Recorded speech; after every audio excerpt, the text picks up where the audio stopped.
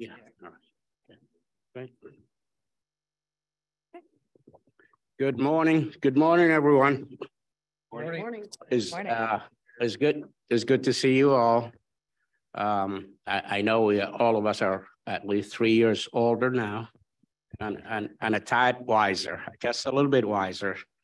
But um, it, it is a good thing that we are all meeting in person, a beautiful facility. Uh, I want to thank, obviously, um, the CMAP and, and the staff for a great job. They do day in, day out, uh, setting up this meeting. Uh, with that, um, I would like to call this meeting to order uh, of the MPO Policy Committee and remind, remind you that the meeting is being live streamed.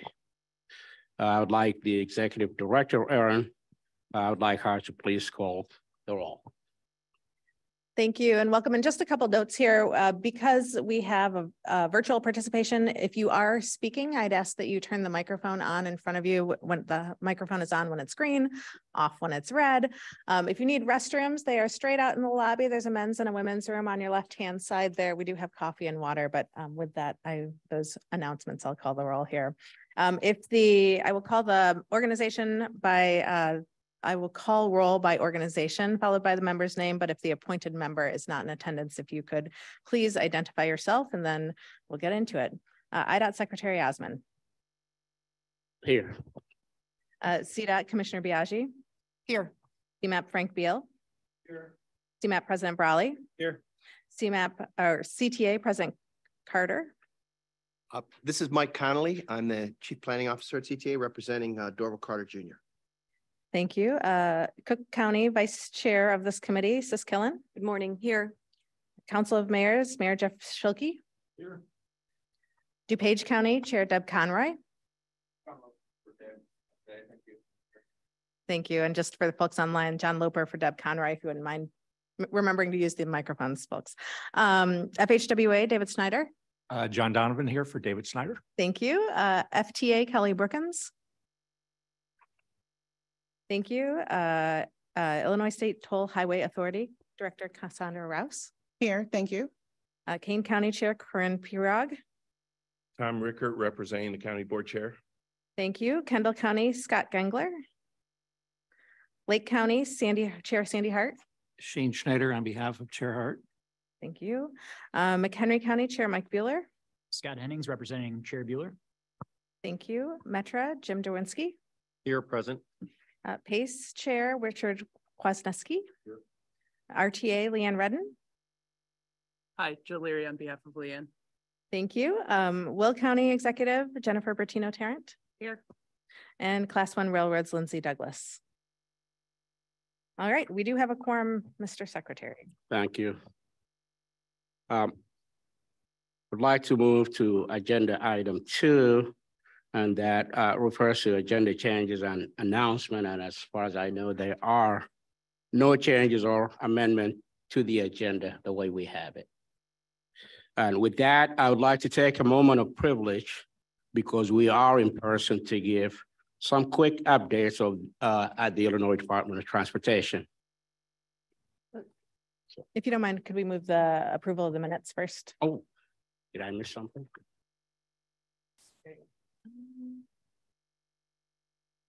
Nope, go right ahead. Go right ahead. We'll approve the minutes next. You want to do the minutes? I could do them. No. Okay. I'm sorry. Perfect. All right. Um, So a quick update, uh, the Illinois Department of Transportation, uh, we have just appointed two new, uh, deputy secretary, Jeremy Lamarche. A lot of you know, know Jeremy. He is a deputy secretary, um, in, in charge of legislative affair. And Terry Glavin, um, a new deputy secretary who came to us from CMS, and he's in charge of, uh, finance and administration, Office of Chief Counsel, and Office of Business and Work Diversity. Um, I could tell you, uh, we have been working diligently and very hard between us from within the department uh, to put projects out. Uh, we, we do have a pretty good, um, what I would call checking account. And it looks pretty good. And that's a reflection of what, uh, of twenty nineteen RBI. Uh, gave us the finance and the, and the, uh, and the actual money we needed uh, to do what we need to do for, uh, for our infrastructure. This June letting, uh, which is a week from tomorrow, is going to be the largest June letting in the history of the department. In the history of the department, quite quite the the number of projects. Uh, some of them are transformational projects for the entire region, for the entire uh, department. We're talking about a letting that is approaching a billion dollar. We never had that uh, in the department. Uh, that is going to be followed by an August letting. Uh, August letting is typically the smallest letting we have. It's one of out of seven lettings we do at the department. And it's typically ranges around 100, 120 million if we are lucky. Now we most likely most likely looking at uh, 350 to a 400 million dollar letting. So uh, we are in a good place uh, to uh, most, uh, you know, to take care of our existing, existing infrastructure uh, as we have it today. Um, Multi-year program typically comes out this time of the year. We are looking at perhaps late June, this month yet, and is probably going to be uh, the largest uh, this, and it's still gonna reflect, it's gonna be a combined highway and multimodal. Uh, for the first time in decade, we started doing, doing that, and it's not just highway uh, program we are putting out. And it's gonna be reflective of, um, of, once again, RBI and IIJ, uh, the infrastructure, uh, federal infrastructure bill. Um, we went through debt, uh, debt ceiling and, uh, legislation that just came out of, uh, of DC with a potential rescission. And we worked pretty hard. Uh, that was gonna hit the department, um, to a tone of hundred thirty million dollars or so. But, um, through Holly Bieneman Shop, who's here with us, and with the help, with the enormous help of CMAP and, uh, staff and, and the help of FHWA, we have managed to redirect and, and, and ensure that we don't lose lose that money, so we kept it here uh, in Illinois. Um, of course, uh, we are at the department uh, very much looking forward uh, to meeting in person and continuing the discussion of each and every regional issue uh, for the department, for the state, that is. Uh, with that, uh, I'd like to move uh, to approval uh, of the minute. Um, I will entertain a motion to approve the minutes from the March 9th, twenty twenty-three meeting. Second. Thank you. All in favor, say aye. Aye. All opposed, say nay. Thank you. Motion carries. Great. Motion carries. Um, thank you very much, Mr. Secretary, for joining us and for those updates about the department here this morning. Uh, it is really great to see you all in person as opposed to little boxes on a screen. I know we saw each other towards the end of last year, but again, I think um, with the expiration of the Open Meetings Act, uh, making sure that you're reserving enough travel time on your calendar to be here, or that if you are representing someone or need to send an alternate, that you're just communicating that with staff so we can make sure that we have a sufficient quorum to conduct business here. I know that the transportation issues we talk about here and conformity are really important to keep moving. So we're laser focused on making sure we have um, are compliant with the Open Meetings Act and do have a quorum moving forward. Uh, the legislative session wrapped up. I know many of you are aware and had folks in Springfield monitoring the flurry of bills that came out. Um, one of the items that got our attention uh, this last legislative session was House Bill 2878, which amended um, was amended by the Senate, which included a provision that would diminish the role of MPOs in public-private partnerships for transportation projects. Again, it would have put the bill in conflict with federal law. Uh, we brought this to the attention of the bill's speaker, Representative Hoffman from Belleville. He did agree with our position as committed to um, working with us on a, a trailer bill and, and did so publicly as he testified before the House Executive Committee that he would address our concerns and reinstate our role in the process this fall in the veto session here. Staff will provide a little bit more context on that moving forward because we do have a legislative update on the bill here. Uh, a few other updates for you um, on our Safe Travel for All roadmap, our STAR program. Um, we have finally secured a, a- an agreement. I signed the grant agreement this week, so we are ready to hit the ground running. We have a board meeting next week that will authorize approval of consultant assistance for this as well. Um, but you can expect updates on future MPO agendas. I know we are working closely with all of our counties to make sure that they have compliant uh, safety action plans for the region, which therefore would unlock federal funds for hard infrastructure dollars. So uh, this multi-year effort really is focused on improving traffic safety in Northeastern Illinois, making sure that we are doing so in a comprehensive, uh, equitable, uh, data-informed and collaborative way here across the region. Again, um, this is all informed by the work that we've been doing, the work that you all asked us to do on safety and transportation safety across our region. Um, so really looking forward to getting that work started in earnest here. I also wanted to share an update with you all on an application we recently submitted for I-290 and the Blue Line CTA corridor. I want to really express my thanks to both CTA, to IDOT, um, and then to our partners who provided letters of support, City of Chicago, CDOT, um, uh, Cook County as well. Um, the project would propose that we set up a project management office similar to the CREATE program structure in looking at the complexities of the two ninety corridor and having two major implementers uh, along the corridor, along with numerous municipalities um, and economic opportunities there in the corridor. Um, we think that it's important to make sure that we have a coordinated regional approach. So um, we submitted that grant last week for about three and a half million dollars to hopefully pilot an approach that would take that create program structure and apply it to this corridor in a meaningful way. Um, we'll keep you posted on the progress, um, but we're, we're hoping for the best on that one. Um, planning for climate action, I wanted to also just make note that we are supporting the Metropolitan Mayor's Caucus um, for their application to the Carbon Pollution Reduction Grant Program. Again, this includes a priority climate action plan by March of 2024, which will guide EPA's $4.6 billion um, in implementation grants. And that would make us as a regional agency and your agencies and your municipalities and the counties eligible again to get implementation funding. Our long-range plan onto 2050 sets some pretty specific targets uh, related to greenhouse gas emissions across this region here.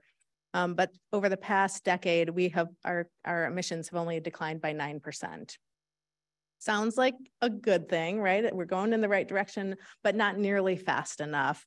In order to meet the net goal, goal of net zero emissions by 2050, we would have to uh, reduce those emissions by, I think, 5% per year until we get out to, to 2030. So um, we're a little bit behind the eight ball here, but this Climate Action Planning Fund resource will help us start to tackle these challenges through a data-informed way and then unlock opportunities for all of our implementing agencies then to compete for hard infrastructure dollars that would help us achieve these goals as well. And then a quick note related to CMAP's involvement with Chicago Mayor Brandon Johnson's transition. Um, I was serving on the transition committee and uh, participated in their convenings that they had over the past few weeks.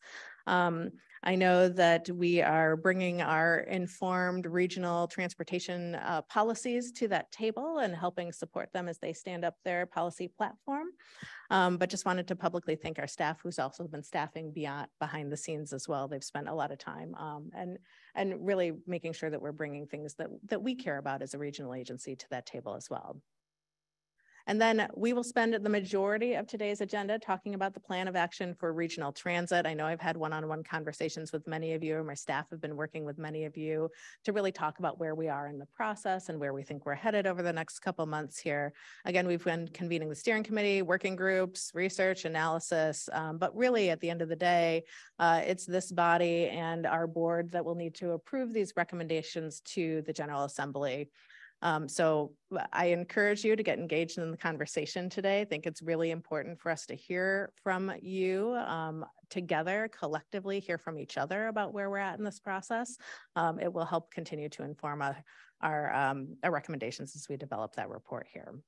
So I just wanted to close and uh, by thanking you all again for your continued commitment to regional issues. I know that getting back into in-person meetings means substantially more time, but um, I do appreciate each and every one of you for taking the time to be here and to be part of the regional conversation. It does help us ultimately achieve our goals when we work together. So with that, back over to you, Mr. Secretary. Thank you. Um, excuse me.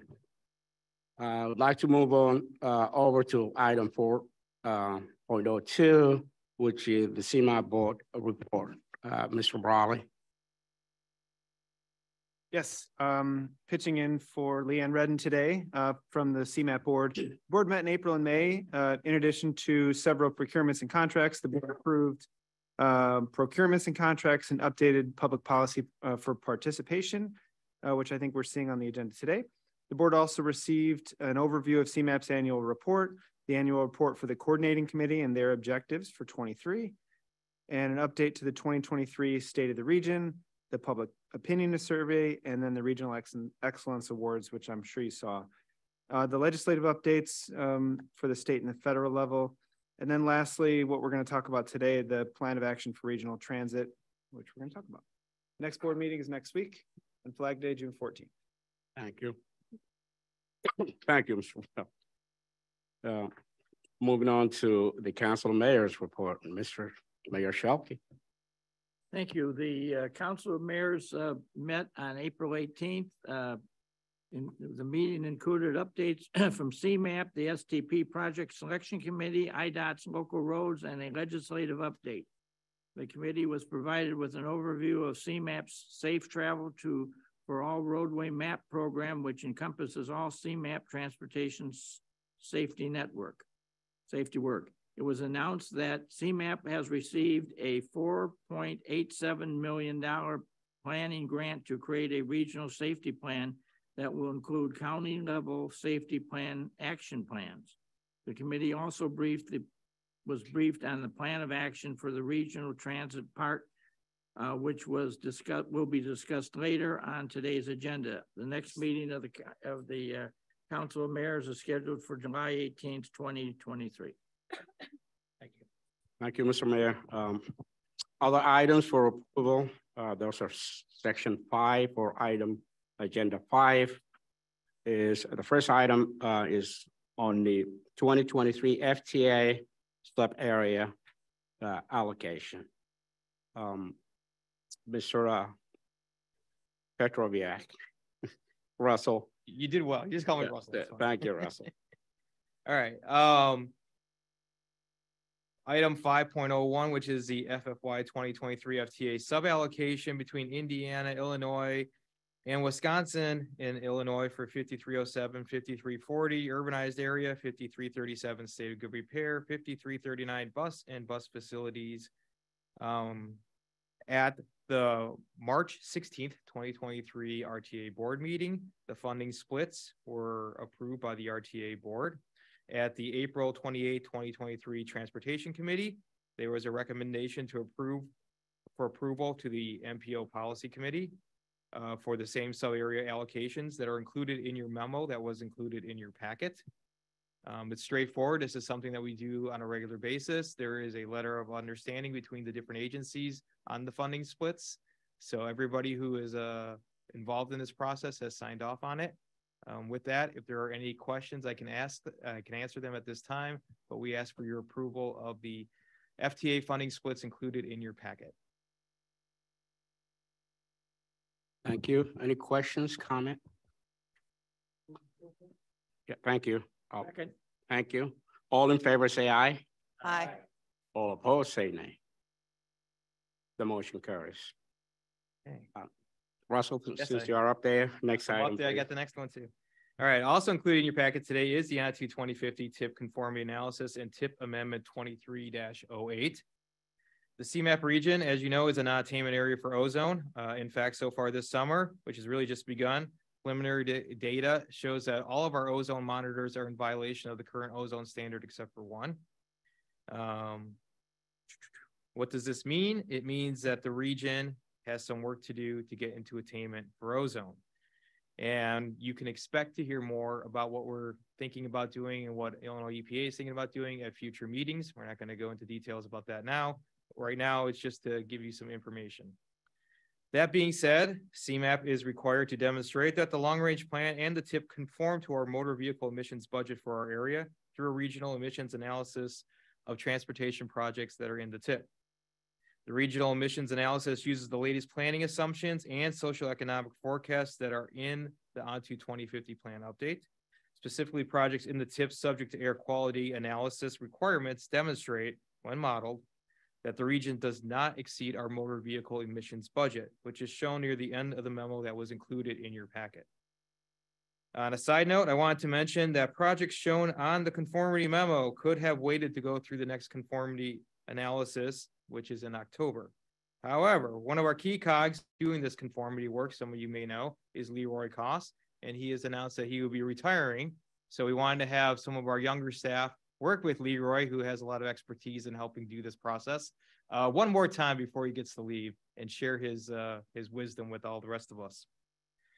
Um, as stated in the memo, results of the emissions modeling demonstrate that regional emissions are below the region's motor vehicle emissions budget, which is the requirement to demonstrate conformity for onto twenty fifty long range plan and the tip. At this time, staff requests approval of a finding of conformity uh, for tip amendment twenty-three 8 by the MPO Policy Committee. And I will answer any questions if there are any at this time.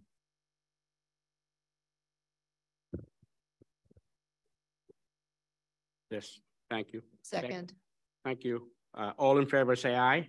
Aye. Aye. All opposed, say nay. The motion carries and good luck Leroy with the retirement.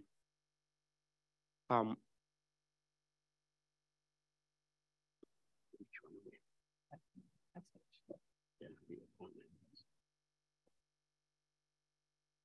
Moving on to item five, you know, three, which is the appointment of chair and vice chair for the CMAP uh, Transportation Committee. Uh, Mayor Schielke.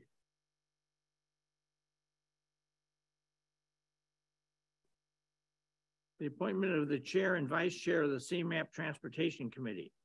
Due to the resignation of former chair of the Transportation Committee, I am recommending the appointment of Kevin Carrier as chair and Tara Orbon as the vice chair of the Transportation Committee.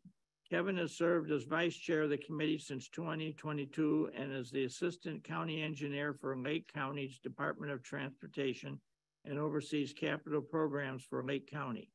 His experience includes development and oversight of the county's capital improvement projects, preparation of intergovernmental agreements, and administration of the county's paratransit program and coordination of the motor fuel tax funded projects. Kevin has assisted with the 2022 launch of the Ride Lake County, a borderless countywide paratransit service. Kevin has been a member of the Transportation Committee since 2017 and became vice chairman of the committee last year. Tara is the assistant superintendent of the Cook County Department of Transportation and Highways. She has 24 years of transportation industry experience. Tara worked in the private sector on the planning and design of transportation systems for the tollway, state, and many municipalities. During that time, Tara developed a passion for public service which led her to join the Cook County Department of Transportation and Highways in 2016 as a chief project engineer and project of the Project Development Bureau, where she oversees the development of the department's multi-year plan, annual budget, intergovernmental agreements, phase one studies, traffic services, and land acquisition. She serves as serves on several CMAP committees and has been a member of the Transportation Committee since 2019. With that, I would make a motion to appoint Kevin Carrier as the chair and Tara Orbon as vice chair of the Transportation Committee. So moved. Yeah. Second, Second. thank you. Uh, All in favor, say aye. Aye. All opposed, say nay. So the motion carries and both of them are great, uh, great appointment. Item five point oh four, which is appointment of subcommittee for nominating the vice chair of the MPO policy. As we all know, each year, the chair of the MPO committee appoints uh, nominating committee to bring forward a name or names for the, for the vice chair of the MPO for the following year. This year, I'm, I am appointing the following members to meet before our next regularly scheduled meeting in the fall. Uh, Frank Beal to represent the Regional Planning Agency. CTAs, uh, Mike Connelly to represent the Public Transportation Agency. Uh, Mayor Jeff Schielke to represent municipal government. Commissioner Gia Biagi to represent highways and road transportation, and Tom Rickert to represent counties. This does not require a vote and it's only for information. With that, item five point oh five, which is public participation policy. Over to you, Director. Great, thank you so much. Um, item five point oh five asks for your approval of this committee's public participation policy. The Open Meetings Act, as many of you know, requires an in-person quorum for this body. However, to maintain accessibility and transparency and encourage public participation, there's a desire to continue to provide the public with a virtual option um, to give comments at meetings and to listen in. Uh, the proposed policy sets clear and structured guidelines for members of the public who want to provide public comment in writing, in person, or virtually at a meeting of the MPO Policy Committee or at its working or public bodies um, and other public bodies that fall out of the MPO Policy Committee as well. So with that, um, you should have seen the draft policy in your packet. Um, we are looking for your approval at this time. So moved. Thank- Thank you. All in favor, say aye. Aye. All Aye. say nay. The motion carries. Uh, moving on into, um, uh, plan of action for regional transit, which is part report update. Sounds good. I'll kick it off as our staff uh, gets ready to present here this morning. As I mentioned earlier, this is the meat of our conversation here today. Um, As a reminder, we have scheduled a special meeting of the MPO on the thirteenth of September um, to do two joint meetings this year with our board. Um, Part of the reason is we want to make sure that we're bringing the recommendations to you all prior to asking for your approval. And so we thought the best way to do so was to schedule a special meeting of this board. Um, and then we would seek approval in the October meeting um, at your regularly scheduled joint uh, CMAP board meeting uh, and MPO policy committee meeting. So I want to emphasize just really the benefit the transit has to all of our communities here before we get into the conversation here. I know that every part of our region experiences transit a little bit differently, um, whether you're in Will County or McHenry County, or you're in Bedford Park, or you're in Logan Square um, you know, it does provide needed access to communities across our region, to people across our region who need to get to healthcare, to schools, you know, to doctor's appointments, to visit family. But it also greatly impacts our roadway system here. Um, and it has impacts on congestion as well. And so when we think about how we want to serve the people of our region with transportation access to places, you know, the stronger that network is, the more multimodal network that we have, the better it is for our economy and for our people here. Um, the cost of inaction is something that bears repeating. I know I've said this before, and the size of the fiscal cliff that we face right now is unlike any other.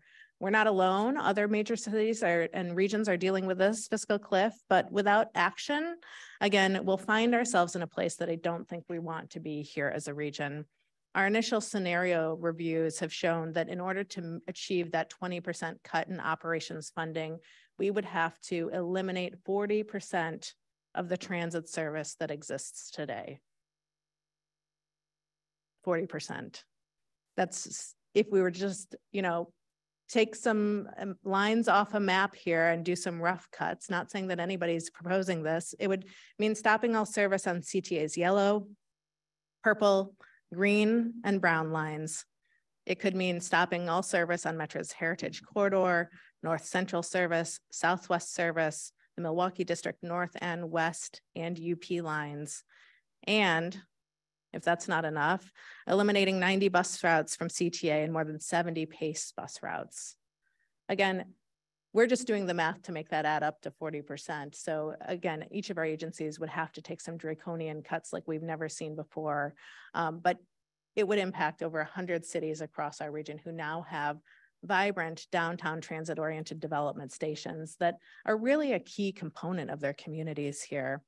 And twenty Chicago neighborhoods and six communities would lose, six suburban communities would lose access to the CTA train service. So again, that's hundreds of thousands of people that would be impacted by these shifts.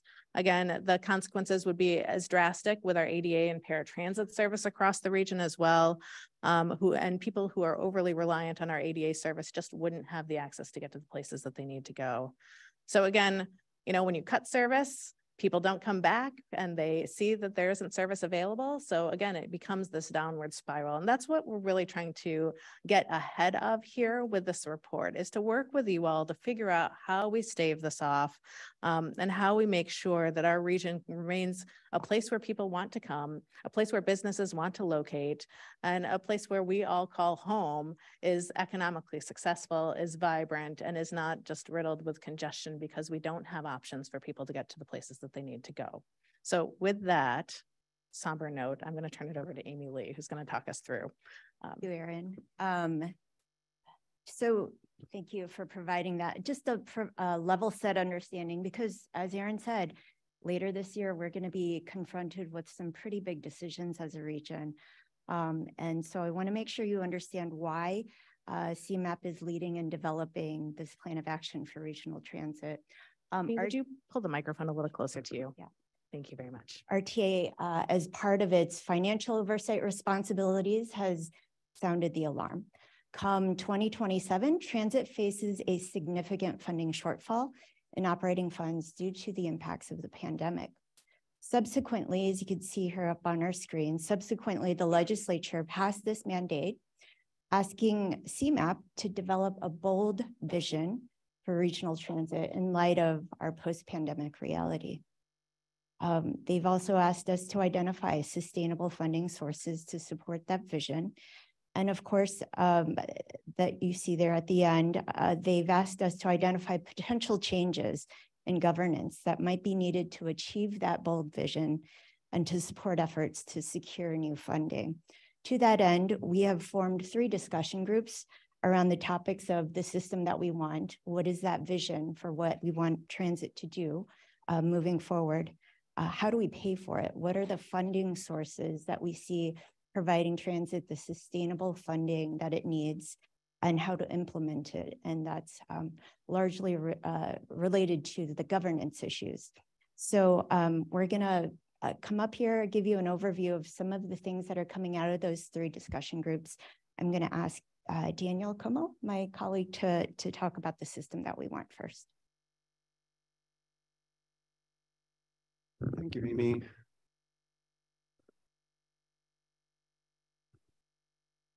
So good morning. Uh, my name is Daniel Comeaux. I am a senior transportation policy analyst here at CMAP.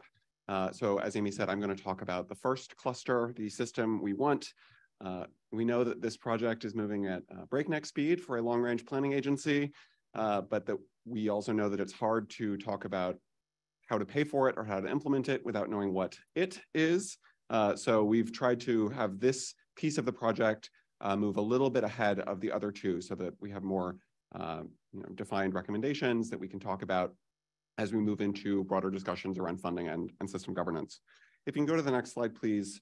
Uh, what we have in, on the slides and also in your, your printout is the sort of current summary level version of the recommendations across a number of different topic areas uh, that are collectively making up this, this packet of, of system that we want recommendations. Uh, so I'll walk through them at a very high level, uh, and then we can have a discussion about you know, your reactions to this as a, as a package, uh, things that you think might be missing. Uh, we're also going to be posting much more detailed versions of all of these on our on our website or on the on the part project webpage uh, in the coming months, and you know can have additional discussions about them or with your staff. So the first one of these uh, we're calling Better Buses. Uh, and this is really recognizing the important role that the region's bus systems, both CTA and PACE, have played in providing access to opportunities throughout the pandemic. Uh, they had much more resilient uh, ridership than the other aspects of the transit system because we know the important kinds of trips uh, that, that buses are supporting and the, the riders who are relying on them. And so we've identified some recommendations around planning for uh, regional networks of bus priority, thinking about how we make sure that that actually can be implemented, uh, whether that's through changes to design manuals or identification of priority corridors. And then also um, making sure that we have appropriate staff capacity, not only in the transit agencies, but also in the, the roadway agencies, since we know that you know, buses do not run on roads owned by the transit agencies. They actually are run on facilities owned by other, the other, many of the other entities that are represented on this body. Um, the other aspect of this that we are uh, you know, recommending as part of this is to move forward with the broader use of automated enforcement for uh, bus priority infrastructure. Uh, and this is something that we know the city of Chicago is piloting in its downtown area, and we think could be a you know an interesting model to pursue more broadly. Uh, but also recognizing that if we were to pursue that, we need to be upfront about thinking about you know redirect or keeping the revenue uh, generated from that to pay for the administration, and also if there's any incremental uh, paying for actual investments in bus priority projects. The next topic is fare policy, and there's two different slides here that I'll, I'll walk through. Um, one of them is thinking about how we can move toward a system of more seamless and integrated fares uh, across regional transit, and then actually connecting to other modes. So this is a, a long, uh, long time topic of discussion here in the region. Uh, we've identified some general principles and uh, important elements of achieving this uh, idea of seamless and integrated fares, thinking about an ongoing structure for full fare integration, uh, some kind of owner for you know, decision-making, whether a single body or a joint uh, decision-making authority um, with timelines to achieve that integration, thinking about what kinds of goals we would like to have in an integrated structure, something like a unified payment method, consistency across our region's transit fares for your discounted transfers, but also recognizing that if we were to achieve this, it would have costs. It has revenue implications uh, in terms of fares, and it also has capital implications depending on the model that the, the region's transit operators decide to pursue. Uh, we do think it's also important to highlight that transit, as we all know, does not exist in a vacuum and that there are important opportunities for transit to integrate with complementary modes, uh, things like Divvy and other bike share programs, uh, as well as how transit interfaces with other mobility systems, whether that's the South Shore Line or Amtrak, or thinking about you know, whether there could be data sharing requirements to better understand uh, the interface between transit and private mobility providers like Uber or Lyft. If you go to the next slide, the other aspect of fare policy that we think is important to talk about is the overall levels of fares and how that relates to the affordability of our, our transit system. We know that transit is far more affordable than owning and operating a personal vehicle. Um, it would be far more affordable even if transit were significantly more expensive than it is today. Um, but if we are looking at what we generate in terms of fare revenue, we also know that increasing fares poses affordability challenges for people that rely on the system. And so what we're talking about is a way of pairing uh, a you know a continued commitment to ensuring that fare revenues remain a stable source of operating revenue. Uh, we don't want them to erode with inflation over time. And this is something that historically our region's transit providers have done. They have kept fares on pace with inflation. Uh, and we are recommending that, or the, the steering committee is discussing recommending uh, that we could continue that commitment and ensure that you know, while we don't expect fare revenue to return to its previous share of the operating funding picture, that we do want to at least ensure that it is stable.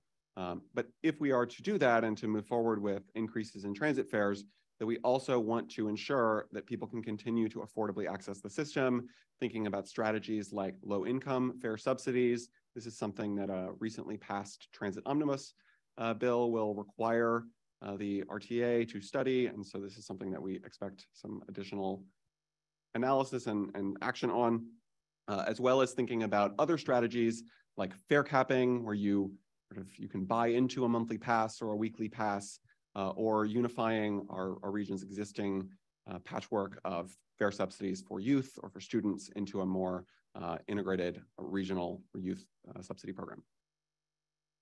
Uh, I know I'm going through a lot here, uh, so appreciate you bearing with us. Um, we also have some ideas on transit system accessibility. I'll talk first about this on the fixed route system, and we'll come back to demand responsive and, and paratransit a little bit later. you know, this is an area that we know there's been a lot of attention and important um, important attention on in the last couple of years as we've had discussions around ADA transition planning.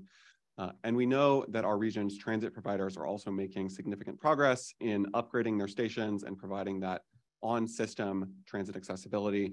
But we do see opportunities to, you know, build on that work, continue that planning, uh, developing a full regional detailed plan and timeline for ADA accessibility on the system, but also thinking about where there are um, key gaps or breaks, whether that's a sidewalk or a curb cut, um, that mean that there is not accessibility to the transit station, even if the station itself is accessible.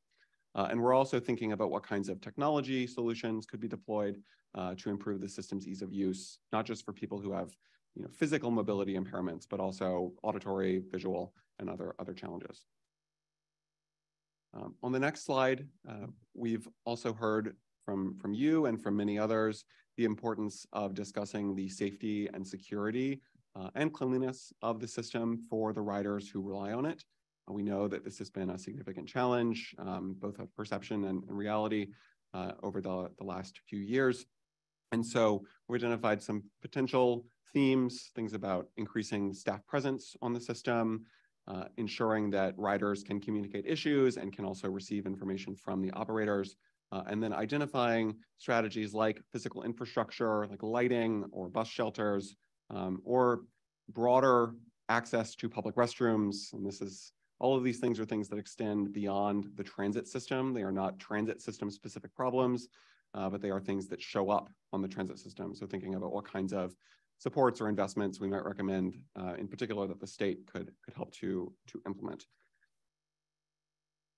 The next slide is a broader uh, principle, and this is something I want to want to pause on for a little bit, which is to say that you know we've, as, as Erin uh, mentioned in the in her opening to this section, you know we are facing some really dramatic consequences of failure. The, the consequences of not acting would, would be a really um, reduced transit system or a shell of its former self. And as we've had discussions with the steering committee and with, with stakeholders throughout the region, you know, we do think it's important to highlight that our goal is not to do the best with the money that we happen to have if we do nothing. Uh, our goal is to maintain and you know, really improve upon our robust transit system here in the region and to strive for a system that provides good service um, to, to riders who need it um, throughout the region, throughout the day, to all sorts of different trips. You know, we've had conversations with many of you, with uh, our Community Alliance for Regional Equity, Regional Equity program, with focus groups, with you know, we've, we've heard from this the input that the RTA conducted in its strategic plan. And when you ask people what they want, they want more service. They want more types of options. They want more frequency on PACE, on Metra, on CTA. Uh, and so we know that we are facing a fiscal cliff and that even retaining the service that we have will be a challenge, uh, but that it is also important to talk about the fact that people actually want more uh, and that if we identify strategies that allow us to provide that service, that that will be meeting needs of travelers here in the region today. Um, and we are focusing in this project on the operating implications of that. We know that there are also capital consequence or capital implications. Uh, there are investments that are required to provide more service.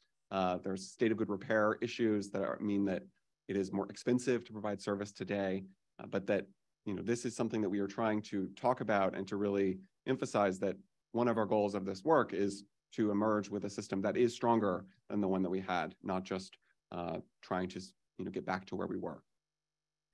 An example of that, if you go to the next slide, is the discussions that you may have already heard about, um, you know, as Metra discusses its potential evolution into a regional rail model. Uh, so providing more all-day service, serving different kinds of trips, uh, not focusing as heavily on the nine to five uh, loop-oriented commute. Um, that if you were to take this idea about more frequent service and play it out in the example of one of our, our transit operators, that this is the kind of approach that you might land on, a regional rail approach.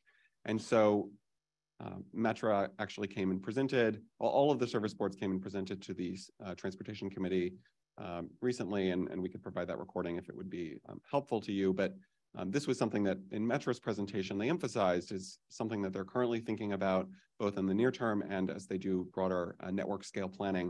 Uh, and so we've identified some principles that we think would be an important element of that, things like ensuring that we have uh, transit supportive land use in proximity to Metra's existing stations, and also identifying whether there could be infill stations that can help to close rail service transit gaps, rail transit service gaps, um, as well as thinking about what is possible in some corridors and not others because of, of freight conflicts. We do know that not all things are possible in all places with the existing freight system. Um, as with all of these investments in additional service and additional frequency, there are costs. Uh, this would require operating investments. It would also require changes in some of the capital assets like rolling stock and some targeted infrastructure investments. Uh, but we think that it's important to start to talk about that as a potential area where the state could provide additional support uh, to facilitate this kind of transformation. The next slide is sort of moving away from the traditional fixed route bus and trains uh, system to another important aspect of regional transit, which is our demand responsive services. And so here in the region, you know, we have our, our pace bus routes and our CTA trains and buses and our, our Metra trains, but we also have uh, a system of, of ADA paratransit that provides really critical access to people that cannot access the, the fixed route system. And we also have a network of dial-a-ride systems or demand responsive systems uh, that provide options for people in areas where fixed route transit might not be as uh, robustly available. And so we're identifying some recommendations building on previous uh, work done by the RTA and, and PACE on how we could support the integration of those kinds of dial-a-ride services into wider geographies. Uh, McHenry County and Lake County provide really good examples here in our region of this kind of work. Uh, and we think that there could be opportunities to expand on that, uh, as well as thinking about within the ADA paratransit context, whether we might be able to, again, expand on existing models like the taxi access program here in the city of Chicago or the DuPage Uber access program um, in DuPage County, which provide paratransit users with additional same day options that actually save the system uh, money. And I, I, I do want to you know, recognize that demand responsive services are very expensive to provide by design. It is, it is not uh, cheap to do this kind of service. And it won't be, you, know, you can't provide every transit trip with a demand responsive trip, uh, but it does make sense in some contexts, in some places for this to be the option. And especially for people who rely on the paratransit services, it is in many cases the only option. Uh, and so as we're thinking about you know, strengthening the whole transit system, this is an important element uh, of that to consider. And then last but not least, uh, we have, uh, as required in the, the legislation that started this whole process, uh, we're also thinking about the land use and development implications of um, those kinds of decisions and what they mean for a financially sustainable transit system. Uh, and so we're thinking about this in a few ways. One is whether there are opportunities in the nearer term to leverage public assets or investments, things like incentive programs or public assets like um, Metra parking lots or other parcels in proximity to transit systems that could be targets for potential state incentives for uh, greater levels of development so that we can use that as an opportunity to build an additional rider base uh, and to build opportunities that drive people uh, to take transit uh, to those, those opportunities. We're also thinking about what kinds of private sector shifts uh, the state could help to support, whether that is things like the uh, recently passed legislation that would require larger employers in the RTA service area to participate in the pre-tax transit benefits program, or more comprehensive approaches like we've seen in other states for employers to set uh, commute trip reduction targets and help to enable uh, greater access to transit to their, uh, their employment sites.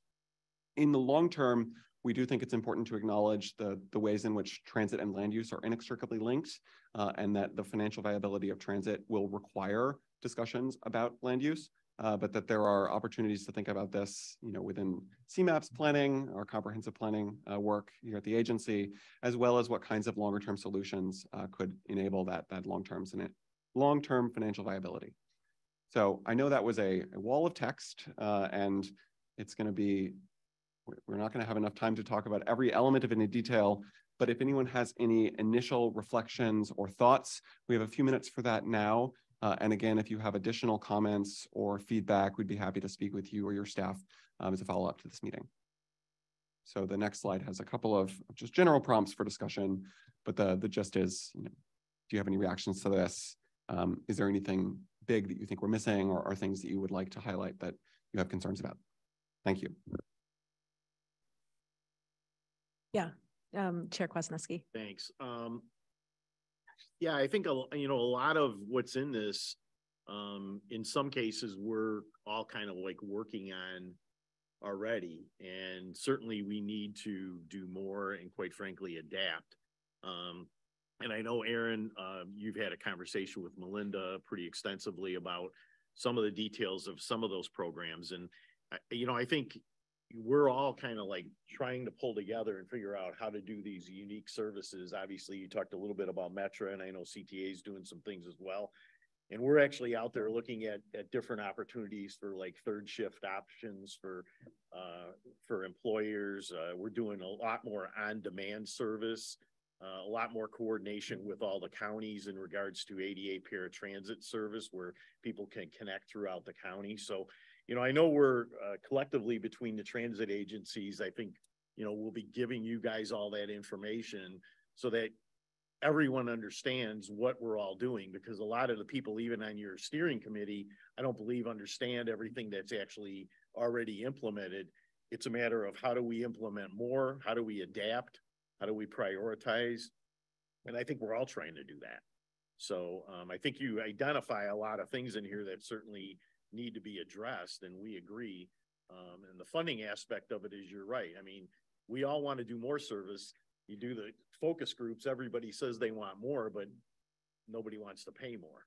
So it's a difficult situation, and especially like with our ridership, a majority of them, um, you know, need the service and quite frankly, you know, in some cases can't afford it. And then, you know, we get some of the legislative stuff that happens where we're granting free rides to factions of people that erode the existing fare structure that we've already got. So we've got some challenges that, you know, I think it'll be good. We all hopefully get on the right, same page moving forward. Um, that not some arbitrary decisions are being made and then nobody understands the financial or practicality concepts of what needs to happen. Yeah, thank, thanks for that. And I, I think one of the goals of our working with the steering committee is also to daylight a lot of the work that you all are doing, that you all know is going on and elevate that conversation so that more people know what's going on at the service boards across our region as well. And um, especially as we get to the point of making some recommendations for folks in Springfield, I mean, getting their attention and, and recognizing that an investment in our three transit agencies here is a strong and and and competitive investment and something that's worthwhile. So I think we're trying to trying to really show what you all are doing and make sure that that as we make some of these recommendations that they find them worthy of investment because you all are very cost efficient per ride, right? And so I think we want to just make sure that we're echoing those points that you have. So thank you, thank you.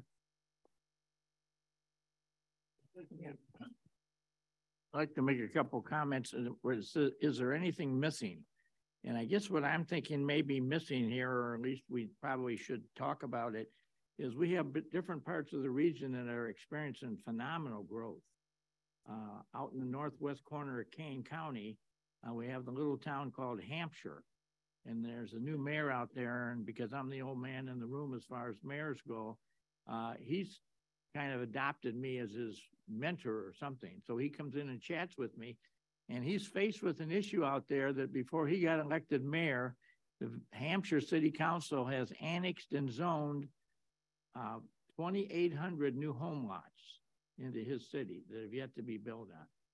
And in my town, Batavia, this past year, we have started construction. Many have been completed, some are under construction of 549 new units of living units. And uh, in my town, I have now have six senior living communities. I have almost 2,000 residents that are all living in, in, in uh, what I'm hearing and seeing is a huge demand from those folks for bus service that, you know, the call-in rides and stuff that we've never had before this. And in talking to other mayors in the outlying areas, everybody seems to have this problem going on. So there's a there's a demographic growth thing that's happening here that is not happening in a lot of other places.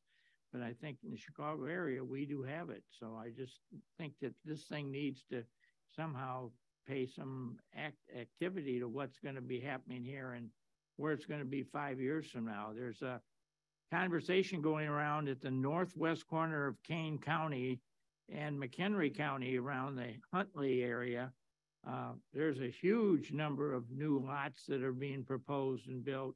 And they just put in the interchange at 90 and 47, which it seems to be driving it. The mayor Rockford has talked to me a couple times about, you know, he's seeing impacts in his town because of that tollway access that's now been presented. The other thing I would just tell you as the mayor in kind of the outlining area, uh, over the years, I, I was in here one time when, when Don Kopek was in here and he and I got invited out to Belvidere to have a meeting with all the mayors in Boone and Winnebago County about how they could get the RTA services out into that area. I subsequently have been to the city of DeKalb City Council and heard that same thing. And uh, it it doesn't. And then we have McHenry or uh, Kendall County that wants to have RTA services, but they can't figure out how they want to pay for them. And that's a unique little wedge in the room that I don't know where that's going because I don't think you're going to get anything to you're agreeing to pay the RTA sales tax, which really has proven, in my view, to be a very worthwhile way of funding things. So there's a lot of moving parts here, and there's a lot of questions that I think this committee needs to be asking. Thanks, Mayor. Other, yeah, Jim. I'd just like to uh, echo what uh, Rick Kwasneski said about the fact that we've kind of been doing this already. And I think the thing that we've identified clearly is that year after year after year, the transit agencies back themselves in a financial corner and we make decisions not to build a system we need, but to adjust the system for what we can afford. So I know we haven't got to the money yet, and that's the big question here, but I, and I also agree with Mayor Schielke that the system that exists today and all the things that were put forward is not the system of the future. The system of the future is much bigger and broader. We're seeing this constantly now with this new ridership pattern. It is not, like you said, it's not nine to five anymore. It is maybe on Wednesday, maybe on Saturday. And that system you can't just make uh, to meet those ridership demands by adjusting schedules or bus routes. It's got to be there every day for people to actually access it and use it. And so it's building a system that fully integrates all these systems together is going to really support the region. And I, I too uh, talk with DeKalb and Rockford and Kendall on a on a normal basis. And yeah, there's there's much a greater demand for um, even a broader system than exists today.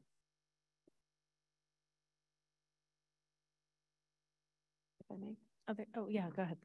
Just piggybacking on the comments that have been made today, it's we're making sure that we're looking forward, not just what we have today and filling the hole that we have today and really grappling with the tough conversation that is coming before this committee. How are we going to pay for what we have today and more? I think making sure that we keep the more at the front of this conversation is going to be imperative. We have a lot of uh, big asks you know, that may be coming of the legislature with this finding.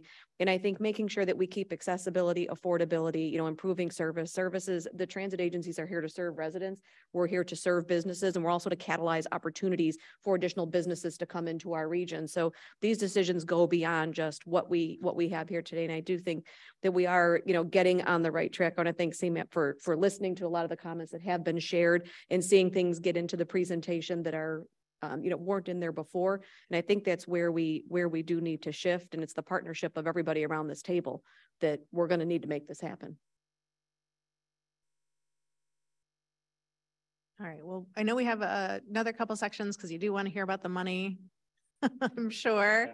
right? Um, and some governance. So, oh yeah, Mike, yeah. go ahead. Thanks. Um, thanks. The, the only comment I wanted to to bring to this to this group is about the frequency issue, which which was highlighted in in the presentation and has been highlighted in the discussions that we've had with you, and and and and and some of it has to do with the way that that Metra is is proposing the restructuring. Um, and I, what I wanted to suggest is that you consider public transit as a public utility, because that's what it is, um, and it should be available, readily available to everyone across the region. You don't go to the faucet and say, "Oh, I gotta wait fifteen minutes for the next water availability. You go to the faucet and you turn it on and the water comes out. That's the way transit needs to be imagined and needs to be structured in this region. That is the way that we will see the ability to reach the goal that's in our onto twenty fifty of doubling transit ridership. That's also the way that we will see a huge impact on our air quality. Uh, Chicago is, is one of the very few places other than Miami that has seen an increase in congestion since pre-pandemic. Um, we have a worse traffic problem. We're losing more hours to congestion today than we were pre-pandemic. And Miami is the only one in that top city list that is as bad as that. And part of that is the way Miami's laid out. But but that's a that's a reality for us. And the way to reverse that, the way to change that is to provide fundamentally transit across the region as a utility so that people can depend on it and know that it's coming. Go to the faucet and turn it on and the bus comes or the train comes. Well, Thank you all for your comments. As I said, we'll, we'll be sharing additional information. And if you have any uh, other topics you'd like to talk about with us, we'd be happy to have those conversations after this meeting. Thank you all.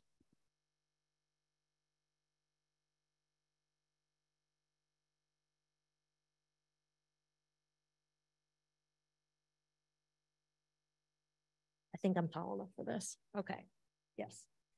Hi, everyone. Uh, I'm Elizabeth Scott, a Principal Policy Analyst at CMAP, and along with Daniel and Amy, and frankly, most of our staff, I'm one of the people uh, working on the Plan of Action for Regional Transit. The workflow that I have been most focused on is the public finance element of this. What are the options that are realistic and can be um, seriously considered in this region to think about how we not just meet the three quarters of a billion dollar operating gap that is facing us in 2026, but think about how we can sustainably over time invest the extra revenue needed to get us to the system of the future, to get us to the system that we want, the system that our people want, and that, you know, we as a region have a legacy of, of providing at a really impressive and great level. So embracing that and continuing it into the future how are we going to pay for that?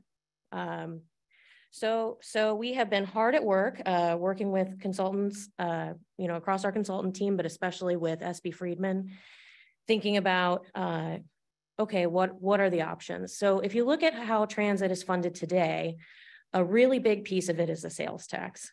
That has been the case for many years.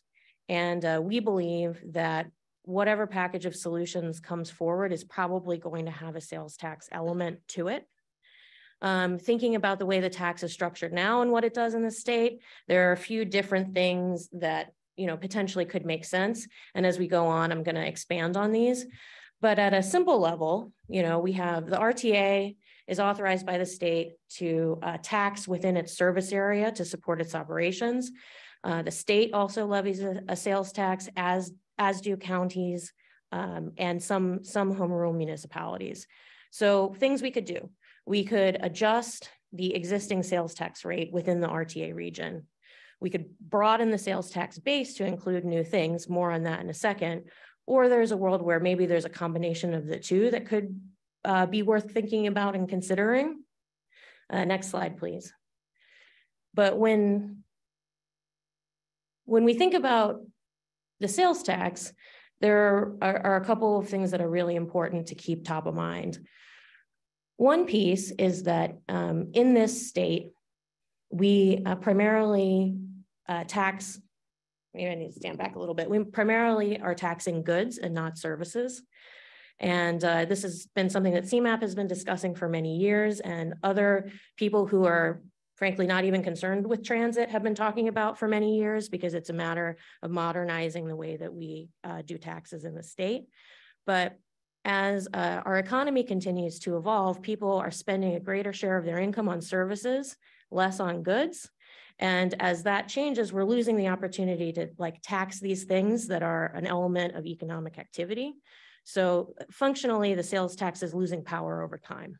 And that has implications for transit, but it also has implications for the other elements that um, are supported by the sales tax. Uh, next slide, please.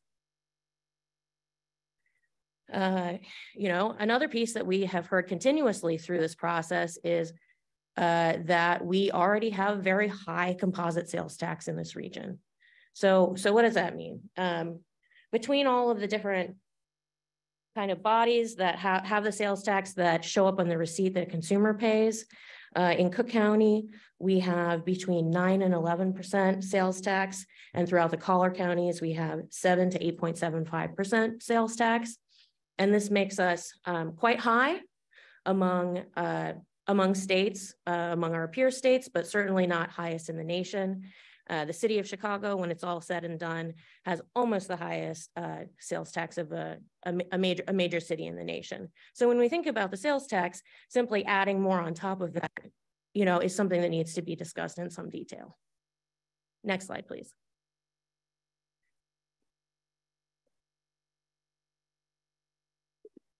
So this is why we're talking about all right, we have the opportunity to raise the RTA sales tax rate within the RTA service area. That would be probably the most straight ahead thing to do. Um, simplest, if any of this can be characterized as simple. Uh, but thinking about broadening the sales tax base to embrace new services um, potentially could allow us to uh, broaden the base, so bring in bring in more money, which would let the state potentially lower their rate, uh, and then the RTA rate could remain the same or possibly rise in um, balance to the way the state rate had been lowered, such that from the consumer perspective, um, sales taxes are either going uh, down or remaining the same. So this, you know, potential potentially could be a good solution. Next slide. Um, we're working on uh, identifying individual services and forecasting the potential revenues from the different scenarios that we're testing, information that we're going to bring to you in detail um, to your staffs. So as I said, the potential benefit of a hybrid approach could be uh, that we would reduce the composite sales tax rate for consu consumers. Um, typically wealthier people spend more on services than lower income people do. So including more services into the sales tax base introduces more progressivity into the tax. Uh, it would raise new funds for transit, but also for all of the other entities that are um, supported by sales tax. And potentially with more money coming to the state, there could be an opportunity to talk about matching the sales tax at a, at a higher rate over time. Um, next slide, please. And so when we talk about services, what are we talking about? Um, like I said, we're hard at work with SB Friedman and, and working with our you know, advisory committees, thinking about what is a proposal that actually could make sense. From, from an equity and just like a good public policy standpoint, probably taxing housing, utilities, and healthcare is not where we want to go. Um, but there are, there are opportunities for some pieces of transportation services, such as like if you take a limo ride um, recreation, like in this state, you don't pay sales tax on um, golf, which uh, most other states have, for instance. Uh, food service and accommodations, some financial services. It's um, the biggest one though that we're really looking at is software as a service. So an example would be that in the past, like maybe you all will relate to this, you would spend a lot of money to purchase software and it would come on a CD and you would install it on your computer and you would use it until something new came out and then you'd buy the new CD. That was subject to sales tax. Today, uh, you buy a subscription, you connect to these resources online, and that is not subject to sales tax. So, so there's an element of being modern and making sure that we're not missing things as the economy changes and moves. And so those are the kinds of things we're, we're looking at. And we're going to make an assessment down to detailed NAICS codes of what we think would be reasonable and should be considered by the state. Uh, next slide, please. In addition to this, we've been talking with your staffs about um, how different, uh, we could be more creative thinking about how different roadway funding sources could also support transit. All of these things are gonna have um, written recommendations with context that will come and be, be available to be reviewed by everyone. But just to remind you, um, we're thinking about the role parking, uh, fee, additional fee on commercial parking could play in uh, CBD or CBD-like areas, not talking about your, you know, municipal parking on a side street, but, but commercial parking. Um, although the state recently raised the vehicle registration uh, fee, That's another source that over the short term could potentially be looked at to raise rem- revenue. Similarly with the motor fuel tax, you know, is there an additional penny for transit or some kind of proposal that could make sense in the short term to meet our immediate needs? Um, uh, we're looking at all of the transportation funds that come into the state and whether there might be an opportunity to shift shift some money uh, around in terms of, of how it's spent in order to support the immediate needs of transit. Uh, and also to support what Daniel was talking about before. If we want to build the system that we want that will bring people back to transit, there are going to be costs associated with that. So how are we going to cover that? How are we going to cover moving to regional rail? How are we going to cover having world-class bus service? Like these are the things we're thinking about in this space. Along the same lines, uh, tolling is also being discussed. We're making estimates of what, what would be raised by uh, introducing an increment onto the existing toll structure or by uh, implementing tolls on IDOT roads that are currently untolled. You know, all of this is about trying to make a serious assessment of what the options are so that we can have a conversation about what makes sense. Uh, along the same lines, we are continuing to talk about the transition to road user charging in the region and what this could look like. Uh, I think there's a scenario where we have a short-term package and we have a long-term package that has the transition to road user charge with an element for transit in it. Um, and, uh, and, al and also we've made an assessment of if Chicago were to implement uh, a cordon uh, along the lines of what London has done or what New York has done, how much do we think that that would raise and what would be the impacts on uh, uh, vehicle movement? So we're looking at all these things and actually more things. And if any of you have any ideas for more things that you haven't heard us look at that you think we seriously should look at, please let us know. Uh, we're writing it all up right now uh, and converging kind of towards the summer, uh, trying to, to create some rank priority among these different options. Next slide, please. And I just want to note that, you know, these things are not cleanly divided among one another. So when we talk about how we're going to pay for it, something we've been, you know, Daniel was talking about earlier is okay, fares have to have a role in how we support transit. But in order to do that, we need to make sure that we're protecting vulnerable people and their needs. So we need to make a realistic assessment of what those costs and trade-offs are and make sure that we're understanding when we ask for the one thing, there are these other impacts. And similarly, we've been hearing throughout um, this process that um, for uh, for the region to have confidence in this level of investment. They want to see performance measures. They want to understand how financial stewardship is going to be ensured. And so we're talking about the fare box recovery ratio. I think at this point, everyone is, is fairly in agreement that this is not the right performance measure for us now. So what is? I think that's a you know conversation that we're going to want to continue to have, and is also related to um, what Amy Lee is going to discuss with you here in a minute. So just trying to draw some of the interrelationships for you. Uh, next slide, please. So I know that's a lot, and people probably have strong opinions about these things. Um, you know, we would welcome uh, one-on-one conversations with anyone who wants to engage with us on any of these options, if that's easier. But if you have um, reflections that you want to share with the group now, we would appreciate that. And even, and more specifically, since we believe the sales tax is going to be an important part of this package, what needs to be known, demonstrated, worked out, dealt with um, to advance the conversation on the sales tax?